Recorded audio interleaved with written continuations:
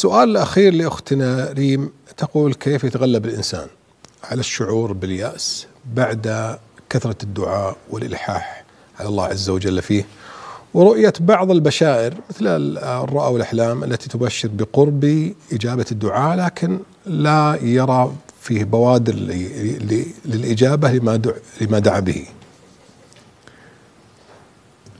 الدعاء باب عظيم. ينبغي بالإنسان أن يستشعر أن الدعاء مطلوب لذاته وليس لكونه وسيلة لغيره. فإنك بالدعاء تناجي رب العزة والجلال. خالق السماوات والأراضين. تخاطب من خلقك ورزقك ومن ستقف بين يديه. ومن هنا فعل الإنسان أن يستشعر أنه هو المستفيد بكون الله قد وفقه لعبادة الدعاء. عندما ينال الإنسان حظوة عند بعض ذوي الدنيا من أصحاب المناصب أو الأموال أو غيرها يجد في نفسه فرحا بذلك أنه تمكن من التواصل معهم وكان بينه وبينهم علاقة. فكيف لا يستشعر بهذا المعنى في علاقته مع رب العزة والجلال؟ فكونك توفق لأن تدعو الله هذه نعمة عظيمة.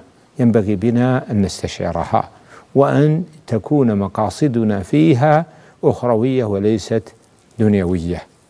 ومن هنا فالدعاء مقصود لذاته حتى ولو لم يتحقق ما دعا به الإنسان.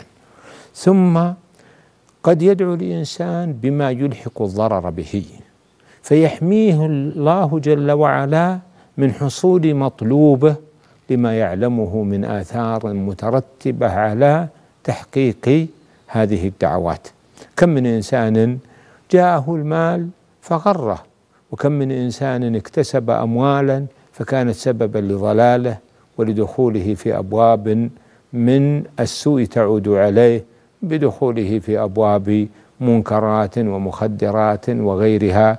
وبالتالي ينبغي بالإنسان أن يعلم أن الله جل وعلا إذا أحبه فسيحميه مما يضره ولو كان محبوبا لنفسه. ولذا قال تعالى وعسى أن تكرهوا شيئا وهو خير لكم وعسى أن تحبوا شيئا وهو شر لكم. ومن هنا فالإنسان لا ينبغي به أن يكون كذلك.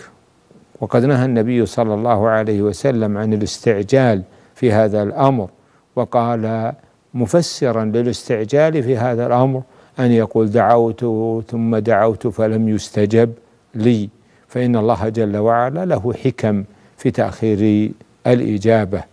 وقد يكون من الأمور التي ينبغي بالإنسان أن يلاحظها أن يلاحظ ما يعوض الله به العبد عن تحقيق مطلوبه.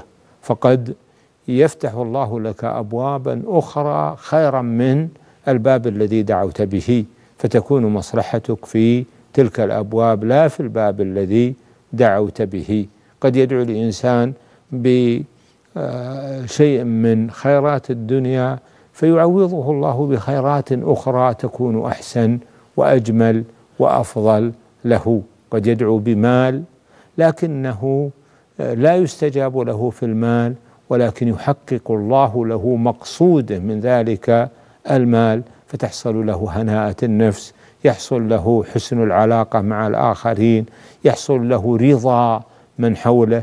لو اكتسب المال لحسده المقربون عنده ولكان ذلك سببا من أسباب سعيهم إلى أن يتكلموا فيه وأن يقدحوا فيه وأن يقوموا باستنقاص مكانته لأنه لم يقم معهم في أمورهم. ولذلك فالعبد لا يدري أين الخير؟ والله جل وعلا يختار له ما هو الأصلح له. وقد قال النبي صلى الله عليه وسلم عجبا لأمر المؤمن إن أمره كله له خير. إن أصابته ضراء صبر فكان خيرا له وإن أصابته سراء شكر فكان خيرا له. ولذلك هذه الدنيا ليست محلا للنعيم الدائم وإنما هي دار الاكدار والأحزان ونقص ما قد تطلبه نفس الإنسان. ولذا قال تعالى ولنبلونكم بشيء من الخوف والجوع ونقص من الأموال والأنفس والثمرات وبشر الصابرين الذين إذا أصابتهم مصيبة قالوا إنا لله وإنا إليه راجعون. أولئك عليهم صلوات من ربهم ورحمة وأولئك هم المهتدون. ثم إذا نظرت إلى نعم الله عليك وجدتها أعظم بكثير مما طلبته. وكثير من النعم يغفل بعض الناس عن كونها نعما ويظن أنها أشياء واجبة على الله جل وعلا. ومن امثله هذا النفس الذي تدخله في جوفك. نعمة من الله عليك في كل ثانية بل في كل جزء من اجزاء الثانية. فلماذا تنسى هذه النعمة؟ انظر إلى تيسير دخول الأكل وخروجه. لو حبس الله الريح في بطن الإنسان لعانى الأمرين وأقسى آه، الأمور ضراوة بسبب ذلك. وهو مجرد ريح. انظر إلى ما في هذا الكون في نهاره في ليله في آه، أعضاء البدن التي آه، يتمتع الإنسان بأنواع النعم فيها. عينان تبصران وأذنان تسمعان ولسان يتكلم وفم يأكل وأجزاء الأجهزة التي في البدن هضميها وتنفسيها وإلى غير ذلك من الأعضاء العظيمة والنعم الكبيرة التي في خلق الإنسان.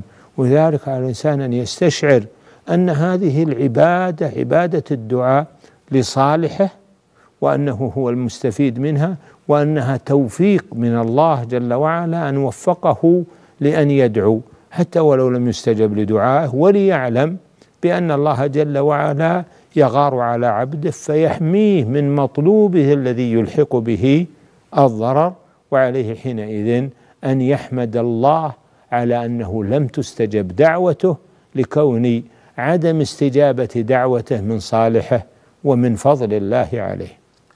أحسن الله